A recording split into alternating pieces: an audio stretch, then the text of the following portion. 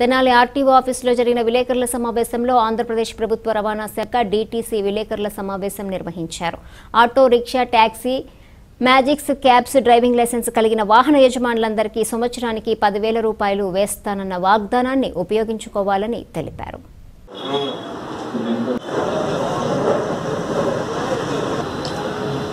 ఇంకా మీరు చేసుకోకపోతే వెంటనే నమోదు చేసుకోవాల్సిందిగా మేము రిక్వెస్ట్ చేస్తున్నాము. మీకు ఎటువంటి అనుమానాలు ఉన్నా కూడా మమ్మల్ని సంప్రదించండి. వెహికల్ రికార్డు ఈరోజే వ్యాలిడిటీ ఉండాల్సిన అవసరం లేదు. ఇన్సూరెన్స్ లేకపోయినా ఫిట్నెస్ లేకపోయినా ఏమి లేకపోయినా కూడా మీకు వెహికల్ ఉండి ఆర్సీ ఉంటే చాలు. వచ్చి మీరు వెంటనే దాన్ని నమోదు చేసుకోండి. వైట్ రేషన్ కార్డు ఉండాలి బ్యాంక్ పాస్బుక్ ఉండాలి. సో ఇది నమోదు చేసుకున్న వాళ్ళు మీ ఫ్రెండ్స్కి మీ యూనియన్ సభ్యులకి అలాగే మీ బంధువులకి కూడా తెలియపరచాల్సిన కోరుచున్నాము. పాదయాత్రలో డ్రైవర్ సోదరులకు ఇచ్చిన వాగ్దానం మేరకు ఈరోజు auto taxi maxi cab owner cum డ్రైవర్లకు సంవత్సరానికి పదివేల రూపాయలు అందించేటువంటి చేయూత కార్యక్రమాన్ని ప్రారంభించడం జరిగింది.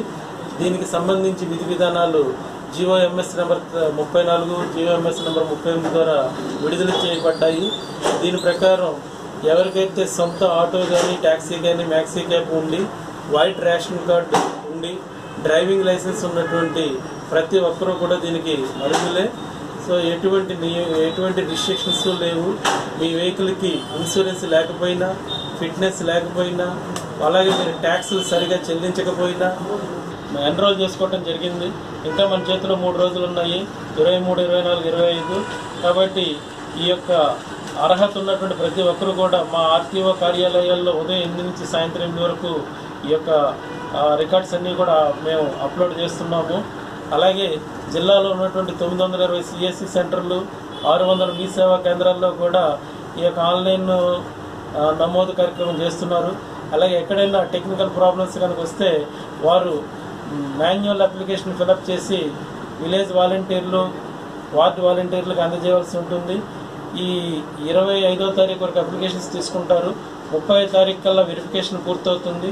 ఒకటో తారీఖున జిల్లా కలెక్టర్ గారు ఈ యొక్క అర్హత ఉన్న వాళ్ళందరికీ కూడా శాంక్షన్ చేసి అది ఫైనాన్స్ డిపార్ట్మెంట్ వారు సిఎఫ్ఎంఎస్ పోర్టల్కి అందించడం జరుగుతుంది ఫార్వర్డ్ చేస్తారు.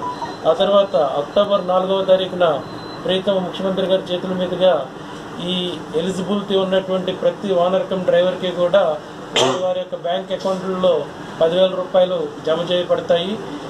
ఐదవ తారీఖున ముఖ్యమంత్రి గారి సందేశంతో పాటు పేమెంట్ రిసిప్ట్ని వాలంటీర్ లబ్ధిదారునికి ఇస్తారు.